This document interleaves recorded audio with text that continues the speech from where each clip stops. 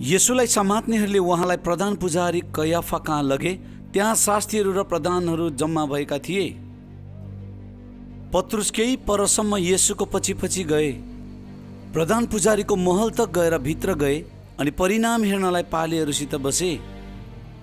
मुख्य पुजारीहरू र जम्मै महासभाले येसुलाई मार्नको निम्ति उहाँको विरुद्ध झुटो गवाई खोजिरहेथे।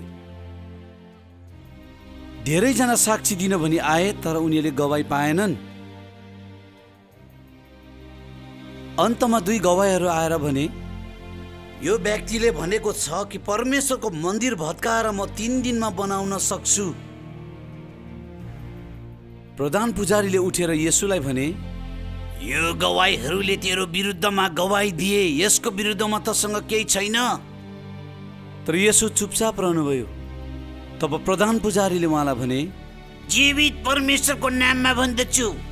यदि त मसी हो ईश्वरको पुत्र हो भने हामीलाई भन्। यसुले उत्तर दिए तपाईँले ठिकै भन्नुभयो। म तपाईँहरूलाई भन्दछु। भविष्यमा तपाईँहरूले मानिसको पुत्रलाई ईश्वरको दाहिने हातपट्टि बसेको र आकाशको बादलमा आइरहेको देख्नुहुनेछ प्रधान पुजारीले आफ्नो लुगा च्यातेर भने यसले त ईश्वर निन्दा गरिरहेछ। अरू साक्षीको दरकार के पर्यो? अब तिमीले ईश्वर निन्दा सुनिहाल्यौ तिम्रो के राय छ? तिनीहरूले उत्तर दिए यो दोषी छ यो प्राणदण्डको योग्य छ। तिनीहरूले उहाँको मुखमा थुकेर मुक्का लगाए कसैले लपेटा हिर्काएर यसो भने मसी तिमी यदि अगमवक्ता हौ भने तिमीलाई कौने को हो